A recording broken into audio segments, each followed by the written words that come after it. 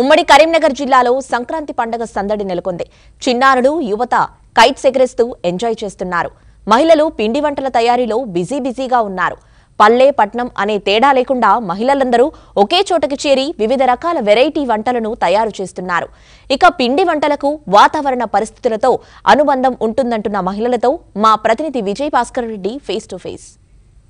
చాలు పల్లెటూర్లన్నీ కలకల్లాడుతూ ఉంటాయి. ఒక పల్లెటూర్లే కాదు ఇప్పుడు సిటీలలో కూడా అపార్ట్మెంట్ వాసులందరూ ఒకజారు చేరి వారి యొక్క పండుగను ముందుకు తీసుకెళ్తూ ఉంటారు. అంటే రకరకాల పిండి వంటలు చేయడం.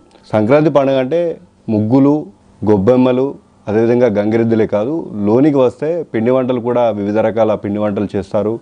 సంక్రాంతి పండుగలో భాగంగా పిండి వంటలు చేస్తున్నారు ఇక్కడ మహిళలు. వాళ్ళని అడుగుదాం వారి మాటల్లోనే తెలుసుకుందాం. చెప్పండి అమ్మా ఈ పిండి వంటలు ఎన్ని రకాల పిండి వంటలు చేస్తున్నారు? ఎలా ఉంటాయి? సంక్రాంతి పండుగ అంటేనే పిల్లలు పతంగిలు ఎక్కిస్తారు. భోగి పండుగ నాడు పిల్లలకు భోగి పళ్ళు పోస్తారు.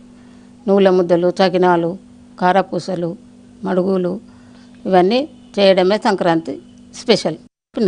పిల్లలకు ప్రత్యేకించి భోగి పళ్ళు పోయడం వాళ్ళకు ఉన్న దిష్టి ఏదన్నా పోవడానికి రేగుపళ్ళు బియ్యము భోగికాయలు చేసి పిల్లల్ని కూర్చోబెట్టి తలంట స్నానాలు చేసినాక కొత్త బట్టలు వేసి కూర్చోబెట్టి పోయడం సాంప్రదాయం.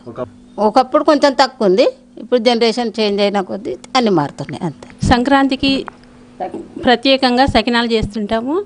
ఆ సకినాలను బియ్యం నానబెట్టి ఒక నాలుగు గంటలు నానబెట్టి తర్వాత మరాడించి దాంట్లో నువ్వులు బటర్ వెన్న ఓమ ఉప్పు కలిపి నానబెట్టి సకినాలు చేస్తామండి.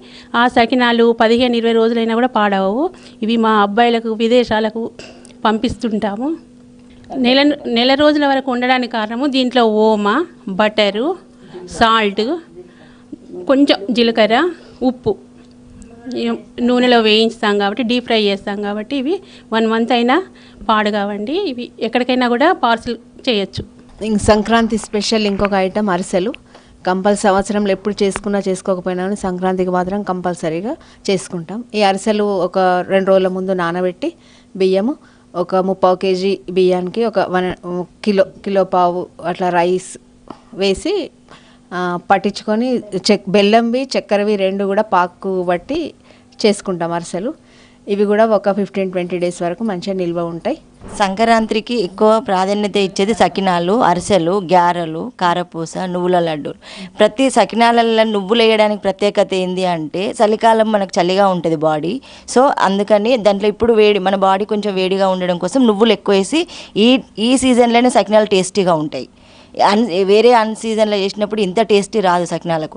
ప్రత్యేకత ఏంటంటే అలా నువ్వులు నువ్వులు ఓమ కలిపి చేయడం వల్ల సకినాలు టేస్ట్గా ఉంటుంది. వేరే టెంపరేచర్ మన బాడీ టెంపరేచర్ చలిగా ఉండడం వల్ల అప్పుడు టెంపరేచర్ కోసం మన బాడీ హీట్ కోసం నువ్వులు తింటాం. సంక్రాంతి స్పెషల్ అప్పాలు కాకుండా నోములు అంటారు. అవి చిలుకలు పిడిసలు నువ్వుల ముద్దలు అవి మళ్ళీ కొన్ని ఐటమ్స్ కొనుక్కొచ్చుకుంటారు. స్టీల్ బౌల్స్ అని. ఇక వాళ్ళు ఎవరు ఇష్టం ఉన్న వాళ్ళు కంపల్సరీ మాత్రము సంక్రాంతికి నమ్ముకుంటారు. కొత్త దినుసు అనేది ఇప్పుడే వస్తుంది. కాబట్టి సంక్రాంతికి పాలు పొంగిచ్చి కొత్త కొత్త దినుసు అనేది పెసర్లు కానీ బొబ్బర్లు కానీ అలాంటివన్నీ ఇప్పుడే వస్తాయి. కాబట్టి సంక్రాంతికి కూడా పాలు పొంగిచ్చి ఇవి కొత్త అన్ని నువ్వులు ఇవి ఓమ అంతా కొత్త పంట.